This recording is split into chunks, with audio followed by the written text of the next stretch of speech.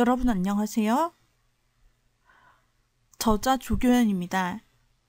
지금부터 GTQ 2급 자격시험 동영상 강의를 시작하도록 하겠습니다. 자, 이번 시간에는 바로 챕터 3의 기능평가 사진 편집 부분을 학습하도록 할 거예요. 기본기 익히기 부분에서 먼저 첫 번째 문제에서는 layer mask에 대한 기본 기능을 살펴보도록 하겠습니다. 자, 우리가 어, 완성할 예제는 완성 이미지 참조해 주시기 바라겠습니다. 여성 이미지와 방 이미지가 있고 그 안에 둥근 원 안에 이미지가 들어있는 layer mask를 만들어 볼 것입니다. 자, 먼저 파일을 새로 만들도록 하겠습니다. 파일 뉴를 통해서 새 파일을 만드는데요. 여기에서 우리가 이제 3번을 하고 있죠. 3번 문제부터 4번 문제까지는 규격이 가로가 600 픽셀, 세로가 400 픽셀이 됩니다. 그래서 이 사이즈를 여러분들이 계속 만들어 보시면서 연습하시면 자동으로 기억을 하게 될 것이고요.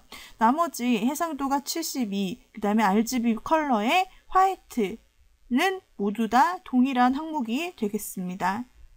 자, 이렇게 600, 400픽셀의 문서를 만들어 주시고 소스 이미지를 꺼내어 보겠습니다. 파일 오픈을 통해서 소스가 될 이미지를 열어보죠. 자, 여기에서는 이제 이미지 소스가 좀 많습니다. 방, 여성, 구슬. 자, 먼저 구슬. 그리고 방, 그리고 밑에 여성 을 모두 세 개를 컨트롤을 눌러서 선택하여 주시고 열기를 눌러 가져와 줍니다. 먼저 배경이 될 방 이미지를 선택한 후 전체 선택해 주세요. 전체 선택은 셀렉트에서 All 또는 Ctrl A를 누르면 되었습니다. 선택하여서 전체 선택을 하여 주신 후 복사합니다. Edit, Copy, Control C로 복사하셔도 되고요. 다음으로 우리가 만들었던 파일로 돌아와 이 부분에서 바로 붙여넣기를 합니다. Edit 메뉴에 Paste 또는 Control V를 누르셔도 됩니다. 자, 붙여넣기를 하시면은 그림이 굉장히 어, 큰데요. 이 상태에서 우리는 컨트롤 T를 눌러서 그림과 같이 배치할 수 있겠습니다. 일단 상단 부분에 라인을 맞추시고요. 의자가 나타나게끔 크기를 줄여보겠습니다. 다 결과물을 보시면서 작업하시면 되고 자 여기 결과물을 보면은 지금 등은 없고 이와 같이 선반이 있고 그 다음에 전화기 보이고 의자의 다리는 이렇게 잘려 보이는 걸 확인할 수 있고요. 왼쪽에 우체통은 보이지가 않네요. 이 정도 최대한 비슷하게 맞춰서 화면에 배치해 주시면 되겠습니다. 자, 배치하셨다면 Enter를 눌러줍니다. 사이즈가 맞지 않는 이미지를 불러와 결과치와 맞게 배치하는 것 이것 또한 중요한 작업이 되겠습니다. 자, 그래서 방.jpg의 사용은 끝났고요. 다음으로는 여성.jpg를 활성화합니다. 여성.jpg를 활성화해서 역시 전체 선택을 해줍니다. 전체 선택을 할 때는 우리가 Select를 눌러 전체 선택을 해줄 수가 있죠. Select 메뉴에서 All 전체 선택하고 Edit에서 Copy 그 후 역시 작업 과정으로 돌아와 Edit Paste 붙여넣기를 하시고 이 이미지는 오른쪽으로 밀어줍니다. 이동 도구 Move Tool을 사용해서 Shift를 눌러 오른쪽으로 배치를 시켜주시고 조금 더 오른쪽 여백이 없도록 이 정도로 배치시켜 주시면 되겠습니다. 서로 다른 두 장의 이미지가 이렇게 배치되었을 때 자연스럽게 합성될 수 있는 방법이 무엇이 있을까요? 네, 그것은 바로 layer mask입니다. 그것을 바로 이번 시간 이 예제를 통해서 실습하려는 것인데요. 이와 같이 두 개의 이미지가 이렇게 칼로 자른 듯이 경계선이 뭐 이렇게 확실하게 되어 있죠. 자, 이때는 지금 마지막에 놓았던 이미지 layer에서 하단에 있는 layer 단추들 중 세 번째 단추 바로 Add Layer Mask 마스크 추가 단추를 클릭합니다. 그러면 layer 옆에 흰 종이가 생성되죠. 바로 이것이 어, mask layer입니다. 이때 전경색을 흰색으로 설정하고 배경색은 검정색으로 설정합니다. 자, 기본값으로 설정해 보겠습니다. 전경색 흰색, 배경색 검정색으로 선택한 다음에 Gradient Tool을 눌러보시면 됩니다. 그 다음에 상단 Gradient 모양은 전경색에서 배경색, 즉 흰색에서 검정색으로 되어 있는 색상으로 선택해 주시고요.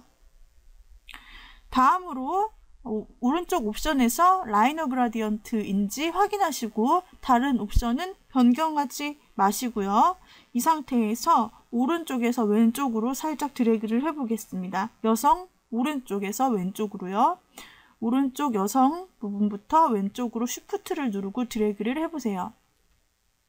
자, 이와 같이 뿌해진 모습을 볼 수 있죠? 경계가 모호해집니다. 자, 그런데 지금 조금 부자연스러움으로 한 번 더 다시 여자의 어깨 부분부터 짧게 쉬프트를 누르고 살짝 드래그를 하여 놓겠습니다. 자, 그러면 아까보다 훨씬 더 경계가 자연스럽게 경계가 지면서 서로 합성되는 모습을 확인하실 수가 있는 것이죠. 이 경계선이 보이지 않을 때까지 계속해서 한번 다시 계속 작업을 해보시면 되겠습니다. 이와 같이 우리는 그라데이션 tool을 통해서 그리고 mask layer를 통해서 사이 경계를 부드럽게 처리를 해줄 수 있고 이 문제는 3번, 4번 문제에서 항상 출제가 되는 문제입니다. 이미지를 합성하게 될 때 자주 출제가 되는 문제이므로 필수 기능이라 할 수 있겠죠. 자, 다음 이미지를 합성해 보도록 하겠습니다. 먼저 구슬 이미지를 꺼내어서 구슬 이미지 역시 전체 선택을 해볼게요. Select 메뉴에서 All을 눌러 전체 선택, 그리고 copy합니다. Edit, Copy, 그 다음에 다시 작업 화면으로 돌아오시고요. 이번에는 둥근 모양을 만들어 보기 위해서 선택 도구 중에서 Elliptical Marquee Tool 원형 선택 도구를 선택합니다.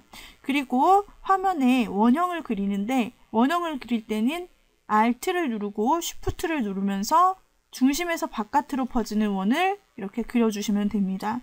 크기는 결과지를 보시면서 적당하게 선택하여 주시고요. 자, 이 정도로 Alt 키와 Shift를 누르고 원의 크기를 늘렸다 줄였다 하면서 적절하게 배치를 해줍니다. 자, 원의 위치는 선택 도구를 선택한 채로 안에서부터 이렇게 드래그하여 움직일 수 있습니다. 자, 그 다음에 이 안에 아까 복사했던 그 구슬 이미지를 붙여 넣을 텐데요. 자, Edit 메뉴에서 이번에는 Paste가 아니라 선택 영역 안쪽에 붙여 넣을 것이므로 Paste Into를 선택합니다. 자, 무엇이 다른지 살펴보세요. Paste Into를 실행 하면은 선택 영역 안쪽에 정확하게 붙여 넣어지는 걸 확인할 수 있고 layer 부분에서도 layer mask가 자동으로 적용되는 것을 볼 수 있습니다. 자 이제 이 원형으로 적용된 부분 layer에 layer style을 적용해 보겠습니다. Layer style은 layer 패널에서도 적용할 수 있지만 Layer 메뉴에서도 적용할 수가 있습니다. Layer 메뉴에 Layer Style 보이시죠? 여기에서 이번엔 Stroke를 선택해 보겠습니다. Stroke 선입니다. 그리고 이 사이즈 옵션이 나타나면은 7픽셀로 설정, 두꺼운 선이 완성되죠. 색상, 컬러 부분을 선택하여서 컬러 코드 입력 부분에 영문 C 숫자 0, 영문 C 숫자 2, 영문 D 숫자 7을 입력합니다. 회색 느낌의 푸른 빛이 도는 색깔이 나타납니다. 자, 이렇게 선을 넣어주신 후 다시 Layer Style에서 Outer Glow를 적용하여 빛을 넣어주시면 됩니다. 여기서는 사이즈를 43으로 입력하여 빛이 크게 퍼질 수 있는 옵션으로 적용을 할 것입니다. 살짝 치워보면 미리 보기가 나타나 있죠. OK를 눌러 닫아줍니다. Layer style이 적용된 모습이고요. 이와 같이 이번 시간에는 두 장의 layer를 합성하는 layer mask 그리고 선택 영역 안에 붙여넣는 방법 그리고 또 자동으로 그때 선택 영역 안에 붙여넣을 때 자동으로 layer mask가 어, 적용된다는 점에 대해서도 학습해 보았습니다. 다음으로 두 번째 문제, layer mask 응용에 대해 살펴보도록 하죠. 모든 창을 닫을 때는 파일, 메뉴에서 Close All을 눌러주시면 됩니다. 자, 모든 창을 닫았고요. 이번에는 어, layer mask의 응용 예제를 해보도록 하겠습니다. 먼저 새 문서를 만들어 보죠. File New를 통해서 자, 이번에는 우리가 가로 350 픽셀에 세로 400 픽셀, 해상도 72 RGB 컬러 화이트의 문서를 제작을 해보겠습니다. 여기서 이름은 002라고 선택한 후 OK를 눌러보도록 하겠습니다. 우리가 파일을 열기를 통해서 소스를 불러오겠습니다. 이번 예제에서 필요한 것은 산타, 눈 배경, 선물, 눈나무입니다. 눈나무, 눈 배경, 산타, 그리고 선물 4개 파일을 선택하여 열기를 눌러주시면 되겠습니다. 먼저 배경이 될 눈 배경 이미지부터 선택해 오죠. 전체 선택, 바로 셀렉트 메뉴에서 All 선택하여 주시고 카피합니다. Control C를 눌러 copy하여 바로 우리가 만들었던 문서에 Control V로 붙여넣기 해주시면 되겠습니다. 여기에다가 필터를 적용하겠습니다.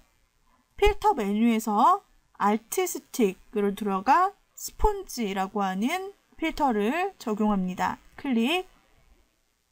기본 값으로 OK를 눌러주세요. 그러면은 이와 같이 Sponge 효과가 적용된 것을 볼 수 있는데 이때 이 배경이 될 색상이 너무 진하므로 opacity 옵션에서 layer의 opacity 옵션에서 불투명도 값을 30%로 설정하겠습니다. 자, 적용된 모습을 확인할 수 있죠? 30%. 자, 이제 모양 생성을 해보도록 하겠습니다.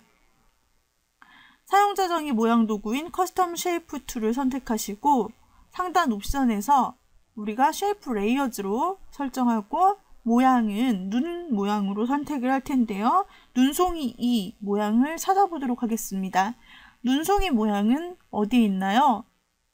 바로 이 부분이죠. 그래서 마우스를 올려보시면 이름이 각각 나타나 있습니다. 우리가 사용을 할 것은 snowflake 2입니다. 바로 이 모양이죠. 선택하여 더블 클릭하시고요. 다음으로 스타일은 논으로 설정하시고 그리고 색상 선택하여서 9, 0, F, 3, FF 하늘색으로 선택하고 OK를 눌러줍니다.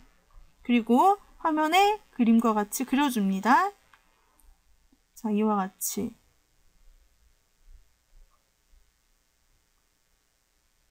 자, 눈송이를 큼지막하게 밑에 쪽에다가 그려주시면 됩니다. 다음 layer 스타일을 적용하는데요. layer 스타일에서 바로 drop shadow를 적용해 주시고요. 기본 옵션으로 OK를 눌러줍니다. 다음은 선물 이미지를 사용해 보겠습니다. 불러온 선물.jpg를 선택합니다. 컨트롤 A를 눌러 뭐 전체 선택을 하시고요. 컨트롤 C로 복사하고 그 다음에 작업 이미지로 돌아와 컨트롤 V로 붙여 넣으시면 그림과 같이 되겠죠.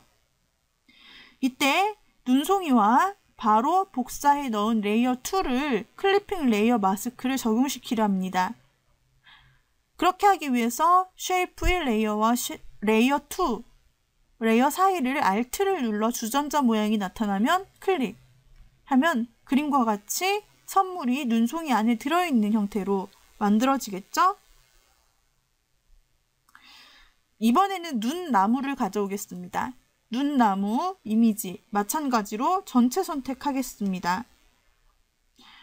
컨트롤 A를 눌러 전체 선택, 컨트롤 C를 눌러 복사, 그리고 작업 이미지로 돌아와 컨트롤 V를 눌러 붙여넣기 하고 위치를 눈송이 모양에 맞게 이렇게 살짝 조정해 주세요.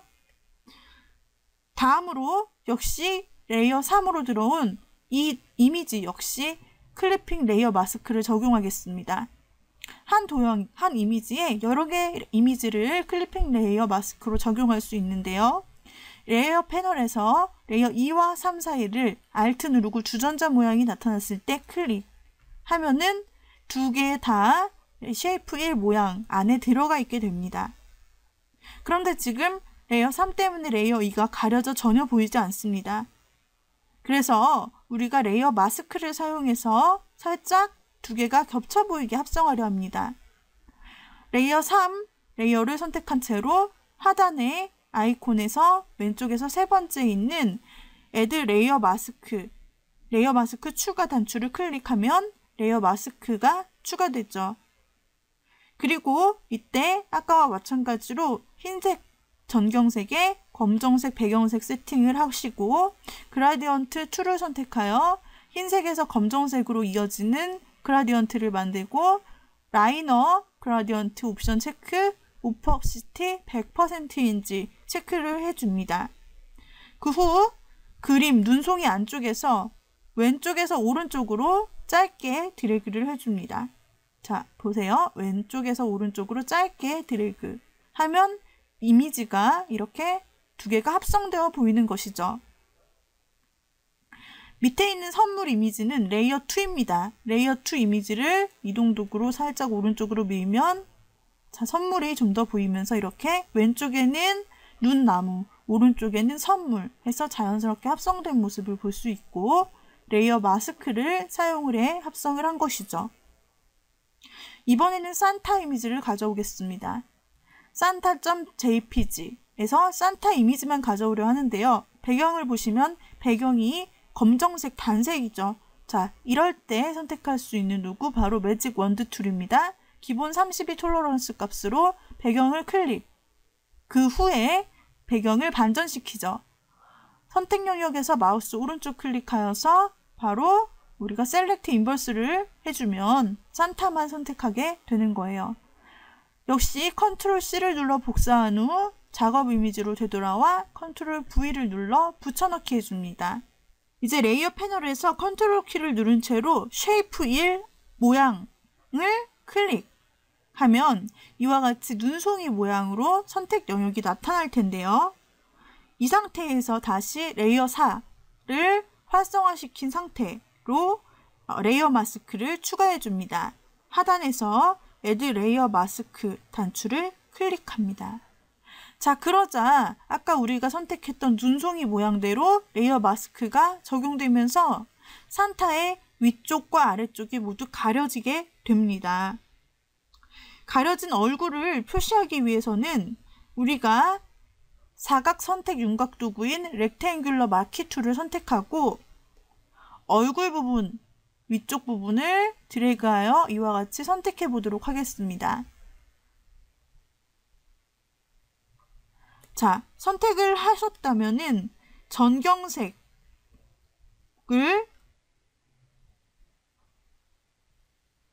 흰색으로 설정하신 다음에 Alt, Delete를 눌러 이렇게 채색하면 layer mask 부분에서 흰색으로 처리된 부분은 나타나는 부분으로 인식하기 때문에 얼굴과 하트, 몸 부분이 나타나는 걸 확인할 수 있습니다.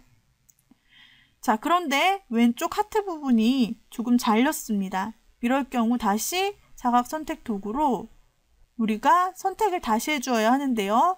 옵션, 상단 옵션에서 New Selection을 선택하고 왼쪽 하트 부분 중심으로 다시 드래그 하여서 다시 흰색 전경색으로 선택한 후 화면에서 Alt Delete를 눌러 색칠해 줍니다. 자, 선택 영역 해제하기 위해 마우스 우클릭하여 Deselect를 하고 보게 되면 여기 산타 모양에서 하단 부분은 layer mask에 의해서 눈송이 모양으로 잘렸지만 상단 부분은 사람이 튀어나온 것처럼 이렇게 나타난 것을 확인할 수 있죠. layer mask의 응용 방법입니다. layer mask에서 흰색으로 처리가 된 부분은 나타나게 되고 검정색으로 칠하게 되면 반대로 사라지게 되는 원리를 이용한 것입니다. 다음으로 문자를 입력하고 layer style을 적용하겠습니다. Horizontal Type Tool, 즉 수평 문자 도구를 선택해 보시죠. 다음으로 옵션 바에서 글꼴은 Arial로 선택을 해주겠습니다. 영문 글꼴 기본체죠. Arial체를 선택하여 주시고 그 다음에 Set the font style, 글꼴 스타일 설정에서는 Bold체로 변경합니다. 크기는 30포인트로 설정하여 엔터를 눌러주시고요. 그 다음에 글자 컬러입니다. 컬러를 상단 옵션 바에서 클릭하여 FF3 영문 2 그리고 숫자 95를 입력하여 핑크색 계통으로 OK를 눌러주세요. 자, 그 다음에 여기에서 바로 이렇게 옆, 여백 왼쪽 부분에다가 메리라고 한번 써볼까요? 자, 이와 같이 메리라고 입력을 해줍니다. 다음으로 위치를 조금 조절을 해줄게요. 결과물을 보시면서 위치를 적당하게 조정해 주시면 되겠습니다. 자, 이와 같이 위치를 설정하고 다음으로 또다시 글자 도구를 선택한 다음에 밑에다가는 우리가 옵션 바에서 그대로 글꼴 폰트는 똑같이 하고 폰트 스타일은 이번에는 Regular로 변경을 하겠습니다. 일반 스타일이고요. 그 다음에 사이즈는 24 포인트 24라고 입력한 후 엔터 치시고요. 컬러 선택해서 FF77 영문 B 그리고 F로 설정하여 옅은 핑크색으로 적용하고 그 다음에 나머지 글자인 크리스마스를 입력합니다. 자, 입력하고 글자의 위치를 맞춰줘야죠. 이동 도구 선택해서 방향키 왼쪽으로 가도록 세밀하게 움직여서 이렇게 배치시켜 주시면 되겠습니다. 두 개 layer를 지금 크리스마스와 Merry 두 개 layer를 Shift 누르고 동시에 선택한 후 이동 도구를 선택하여 왼쪽으로 동시에 밀어줍니다. 그럼 두 개 글자가 한 번에 이렇게 위치가 되고 한 번에 글자를 정리할 수가 있죠.